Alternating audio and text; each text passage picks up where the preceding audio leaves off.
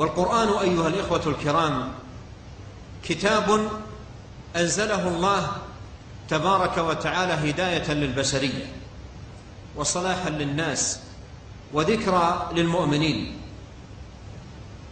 وشفاء لما في الصدور وضياء ونورا وبركة لمن كان من أهله.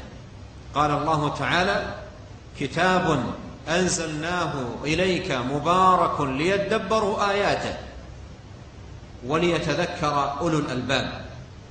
وقال جل وعلا إن هذا القرآن يهدي للتي هي أقوم ويبشر المؤمنين الذين يعملون الصالحات أن لهم أجرا كبيرا. وهذا الكتاب العظيم أنزله الله تبارك وتعالى لعباده ليكون منهجا لهم في حياتهم في أخلاقهم في آدابهم في معاملاتهم في تعبدهم وتقربهم إلى الله سبحانه وتعالى.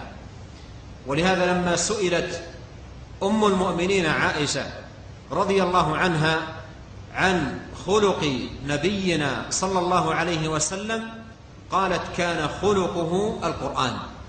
قالت كان خلقه القرآن.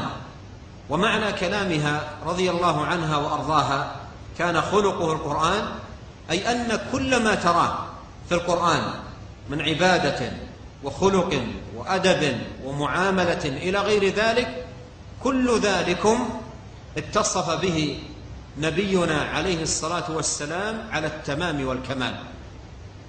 فكان أعبد الناس لله وأكثرهم لله خشية وأعظمهم تقوى لله سبحانه وتعالى وأكملهم خلقا وأحسنهم أدبا وأطيبهم معاملة وكل ما في كتاب الله عز وجل من عبادة وخلق وأدب وغير ذلك آه، أتى به وتممه وكمله صلوات الله وسلامه عليه.